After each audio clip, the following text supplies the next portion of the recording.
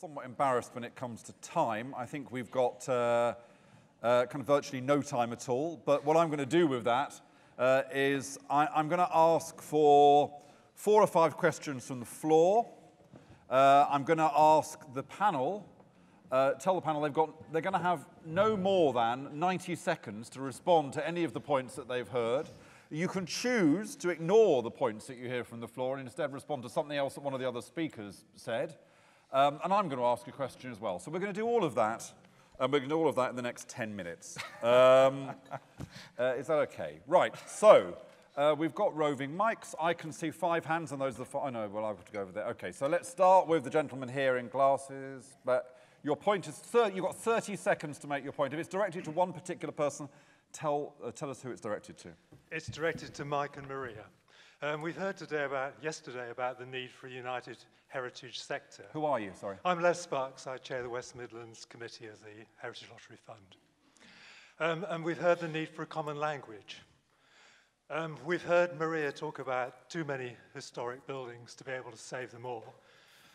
I haven't heard Mike Clarke say there's too many species on this planet to save them all. Seems to me a fundamental contradiction in approach. I won't say which, which approach I personally support unless you ask me to. Very good. Uh, okay, um, I thought that, yeah, there's a lady, I think, at the back table there. Yep. Is this working? Yes. Yep. It's Kate Maver here, National Trust for Scotland. I just had a quick um, query about the venture philanthropy, which came along probably about 10 years ago, from my recollection, when it was embryonic, first thing starting up. I was interested to know, with the increase of venture philanthropy, whether the size of the cake has grown over that, say, 10-year period, now that investors are seeing there is more uh, robust business planning going on, there is more uh, that they can actually, more difference they can make with good management of good charities. And has that made a difference in the number of people willing and able to invest? And is that, is that an opportunity for the future, or has it been exhausted? Okay, as the mic's moving across, I'm going to subvert my own format and say, Dan, why don't you just respond to that specific point? Yes, I mean, venture philanthropy, you're right, was a, was a kind of new trend, and it sort of still exists. It's turned out not to be uh, as simple as some of the uh, people peddling it were, who kind of thought they were going to introduce kind of venture capital and private equity type of uh, approaches to, to non-profits, uh, and they found that quite tricky. I think a, a, a more uh, interesting trend at the minute is, is what's called impact investing, at least in the US, often social investment here. Uh, and there's been a big, uh, there was a big G8 uh, summit last year, and there's a whole working groups going on. And this is potentially trying to see um, both uh, charitable uh, funders, but also mainstream funders, whether they want to put some of their portfolio uh, into non-profits, essentially um, go going for a slightly lower financial return in return for social impact. And there's a lot happening on that. That could be quite exciting. Um, but again, uh, I would caution that a bit like crowdfunding, it's uh, talked about a lot and there's a bit less happening. Okay, this one right in the far corner there. You, uh, Chris Brown from Igloo Regeneration. I'm a property developer, but my friends tell me I'm at the more socially acceptable end of the spectrum. Um, I wanted to link the three fantastic, absolutely fantastic contributions from Dan, Maria, and Jonathan um, with some of the stuff we heard last night, and with particular reference to a project I'm involved with uh, called Ancoats Dispensary uh, in Manchester, which, uh, which was built at the same time that Maria's Elephant was, uh, was doing rides at Belle Vue. Um, it's doing a huge, as a project, it's intended to do a huge variety of things. Um, but I guess two questions for the panel. Do you think we can ever value all the different things that some of these heritage projects do, you know, from economic development to community well-being um, to protection of, of heritage itself. It was, it was the site where Lowry painted his only ever interior, for example. How do we value that? And secondly, and I guess this may be more for Jonathan, um, is the process as or more important than the outcome? Because this is a project which is led by the community. It's not with the community, it's led by the community. So is the process as or more important. Great. Uh, there's a lady there in a kind of, I think, a blue top, from what I can see. Keep them short if you can. Uh, Hilary Lade from the Heritage Lottery Fund. I wonder whether Maria could make a link between her very challenging provocation about letting things go and the comment made by the gentleman yesterday about class benevolence, where it's a cultured elite who take all the decisions and pass them down. Very good. Uh, we'll come to the front and we'll just take this little cluster of three questions here and then we'll bring in the panel. So there's one, two, three people, kind of just there's one on this table and there's two on that table.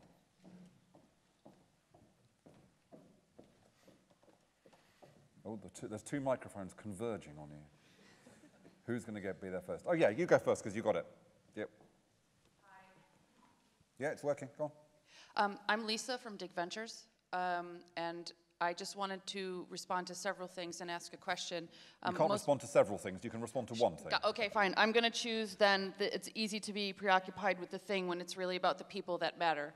Um, I have to disagree, and I just wanted to share from where we've been with crowdfunding that people come to us because they want what we've got. And I just think, amongst all this, although of course I believe it is the people that matter, we have to be very careful about our USP as heritage providers.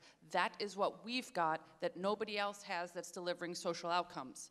And I think the reason why we fail with social funders is that somehow in trying to get those funds, we forget that and it doesn't come through strongly enough. And that's true for both audience and for funders. Okay, and then pass the microphone to the person next to you. Good morning. Um, Marcus van der Gaal from the Continuum Group. We run, uh, I'm just, reason I wanted to speak was another proposed model and also about access to funding. We run several visitor attractions in partnership with local authorities. And uh, we invest in those facilities and then we give back to the local authorities. For instance, uh, the Spinnaker Tower in Portsmouth, we give back about £500,000 every year. We're more and more talking to local authorities, trusts, and uh, the likes of the RSPB in partnership, and I think there's a lot more collaboration that can be had. Very good. We're all in favour of diverse voices. It's fantastic to have two private sector voices in this cluster of questions. Uh, true diversity for you. Um, yeah, there. Churches Conservation Trust. We're the organisation responsible for all souls in Bolton, um, and we're very much in, in agreement that you have to be entrepreneurial, that the future is mixed economy, it's about, you, you can't preserve buildings in Aspic. However, I think there is an inherent conflict be between this desire to tidy things up from the top, to reorganize organizations, and to reduce the overall number. And I just want to posit a good case study to prove that, which is the Church of England, which owns 40% of grade, well, doesn't own them, 40% of grade one listed buildings in this country, 13,000 parish churches. They make absolutely no economic sense whatsoever. And yet every time someone in the Church of England tries to tidy up and close three out of five of them because it looks neat from the top, the local, it's the local people that stop that. And it's, it's not because they make economic sense, it's because they love these buildings, because the beauty, the words Jonathan was using particularly, um, and, and, and it, it, it, there is a conflict between that desire locally to keep your local building and the desire to tidy up from the centre. Okay, so some really interesting questions. Sorry, I can't take uh, uh, everybody. Um, I think there were specific questions addressed to some of you individually, but I also think there's a kind of underlying issue here around what we mean by value and impact and the kind of dangers of trying to have too neat an account of what is essentially a kind of rather complex uh, uh, phenomenon. But uh, let's go in the same order as the speaker. So start with you, Dan. You've got 90 seconds to respond to whatever you want to respond to, starting from now. I, I think, in a sense, we're having kind of macro and a micro conversation. I would say that as an economist. I mean, there's, there's been a lot of contributions about what are we trying to do overall? Do we have too much of certain things? Uh, what are we really trying to do? All the different outcomes that a, a heritage uh, a project or whatever can, can create. And then, uh, and those are very difficult, but I agree with what people have said, that we do have to confront to some extent those issues. Otherwise, things just happen with the most powerful attending to push the shape of what happens. Um, on the other hand, if you just ask uh, people what they want, it happens in charitable funding, they tend to fund the popular things, and, they, and the less popular things never get funded, and yet we think they're valuable. Then you get to the micro level. I mean, which, which church do you, you know, close down or whatever? When, when do you sort of overrule the local public? When is it true they say this is absolutely vital to us in terms of community cohesion and social capital? And when is it not true? And these things are easy to band about. Uh, and people always do. I've never met a charity yet who hasn't told me that their charity does fantastic stuff and achieves a hell of a lot, and they should be the one that's funded. I mean, of course they say that. But some, if we've got rationing, and we do have rationing, about resources, we have to make those decisions, and some of them are tough. I think, as people have said, one of the key things is who's making those decisions. Very good. Mike? Okay, well, I think I'll respond to the point around um, saving species versus um, letting go of heritage. And three quick points, really.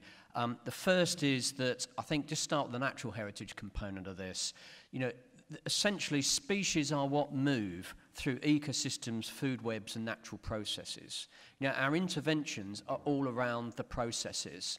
Um, and so um, I think there's, there's, there's a kind of distinction to be made here. Um, you know, in, from a natural heritage point of view, we envisage things moving and changing. This isn't about going back to some halcyon age in aspic and fossilizing. It's actually about how do we enable nature to adapt while retaining what we think is a test of a civilized society. I mean, I'm you know, short-circuiting, that's it. But the two points to go with this, you know, I think that, you know, my point is I think this is around how do we create a common language, you know, common frames. You know, what are the what's what we're deleting and assuming before we even speak. You know, we need to bring some of that to the surface. And I think it's around mission and purpose. What's heritage for? You know, provider or purpose? What language are we talking? Are we talking provider language or purpose language? And I think that's it, crucially about how, do we, how does heritage contribute to the future, not just what we're saving from the past. And I think just final point on that is that um, you know, I think we do need to go back to real brass tacks on this. You know, I've, I've heard the mention the age of enlightenment made, mentioned. You know, there's something here about universal values. You know, when I think about how I connect my cause with the message to my public and the impact we have to demonstrate, it's all about the local to the global, from the individual, their home, their, their livelihoods, through to um, how that collectively makes an impact. And I think we need to be creating a, a way of enabling us to talk in those terms if we're going to have more common purpose.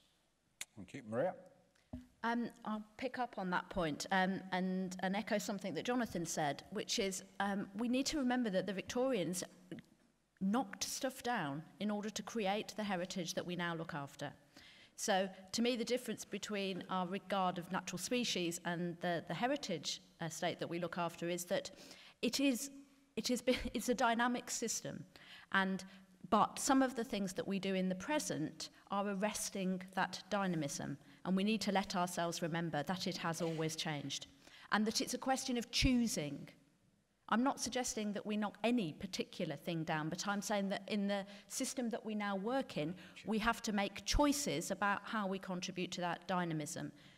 In relation to the point about um, who has the power to choose, I think one of the most productive things that has emerged over the last 20 years is a much greater engagement with the making of those choices. And actually, the actions of the Heritage Lottery Fund have been one of the best things about that.